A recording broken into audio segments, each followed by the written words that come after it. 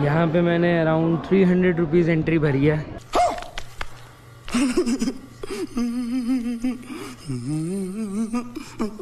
मेरे को तीन सौ रुपये छोड़ो तीस रुपये वर्दी भी नहीं लग रही है जगह। कंट्रोल कंट्रोल आधा घंटा बहुत ज़्यादा है इसको पूरी तरह से एक्सप्लोर करने के लिए। 15 से 20 मिनट में एक्सप्लोर किया जा सकता है। दो तीन जगह ही हैं एक महल है और एक जो राजा का निवास है वो है।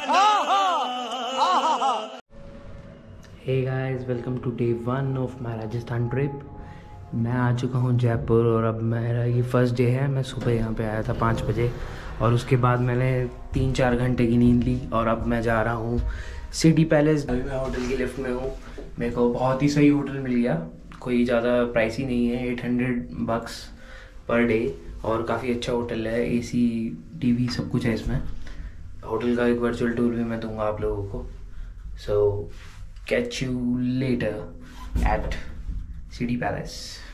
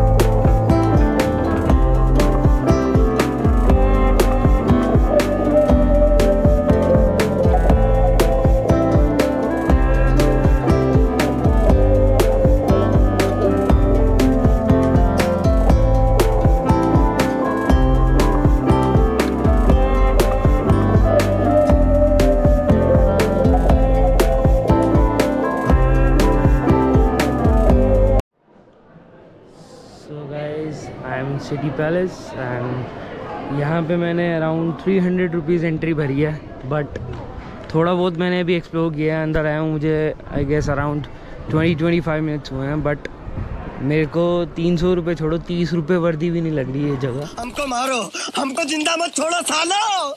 हम कोई मंदिर का घंटा है कि कोई भी आके बता आप देख सकते हो यहाँ पे लोगों ने कोई शादी का प्रोग्राम चल रहा है जिसके लिए अरेंजमेंट्स हो रहे हैं। तो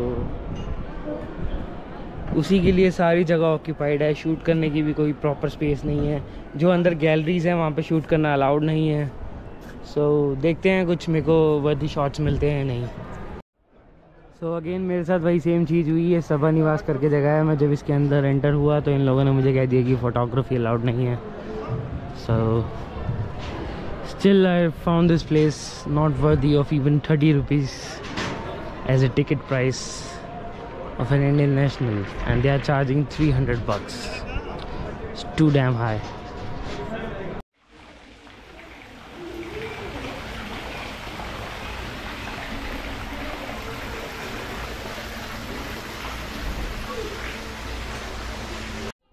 So finally मैं उस जगह पे आ गया हूँ जहाँ पे रॉयल फैमिली रहती है, जो कि पहले किंग थे जयपुर के, उनकी फैमिली आज भी है यहाँ पे, और वो आज भी रहती है ये सामने उनके आशियाने हैं। इसके अंदर रॉयल रूम्स हैं, जिसके अंदर आज भी वो फैमिली रहती है। तो ये मेन वही जगह है जहाँ पे राजा खड़ा खड़े हुआ करते थे और यहाँ नीचे उनकी प्रजा होती थी।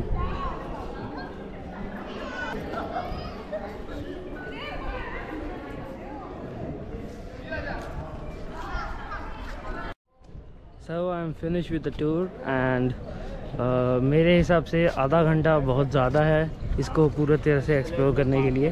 15 से 20 मिनट में एक्सप्लोर किया जा सकता है। दो तीन जगह ही हैं, एक महल है और एक जो राजा का निवास है वो है। उसके अलावा एक भवन टाइप जगह और है। अंदर कहीं पे भी फ़ोटोग्राफी अलाउड नहीं है सो बस हम देख सकते हैं और बेसिकली अंदर जाके कैसे वो रहते थे, क्या उनका रहन सहन था। इसी के ऊपर जैसे कपड़े हैं वहाँ पे, घाघरा, साड़ी ये सब जो वहाँ फीमेल्स उस टाइम पे वियर करती थी या फिर जो कि राजा वगैरह की पोशाक होती थी, जो वो ट्रैवल करते थे जब लड़ाइयों के लिए उस टाइम पे, वो सब है यहाँ पर। सो आई गेस थोड़ी सी जगह बोरिंग है बट आर्किटेक्चर काफ़ी अच्छा है और कुछ अच्छे शॉर्ट स्नैप्स यहाँ पे मिल सकते हैं। और फ़ोटोज़ लेने के लिए एक ये अच्छा पॉइंट है। अगर आप बहुत फ़ोटोजेनिक हैं तो अराउंड आपको एक डेढ़ घंटा भी यहाँ पे कम पड़ेगा but as per as tourist point of view overall I would suggest कि ये जगह अगर मेरे से कोई फाइव पॉइंट्स में से पूछता तो I will give it two stars because it's not that worthy architecture यहाँ थोड़ा बहुत अच्छा है। फ़ोटोज़ लेने के पॉइंट्स अच्छे हैं बट वो जयपुर में कहाँ नहीं है। ऐसी बिल्डिंग्स जयपुर में हर जगह है। So spending three hundred rupees just for nothing और अगर लोग नए हो तो सब्सक्राइब करो। वो जो लाल वाला बटन है, उस पर फूट फेंक के मारो या फिर मोमबत्ती। मुझे नहीं पता, बस क्लिक हो जाना चाहिए। खत्म। Bye bye tata good bye गया।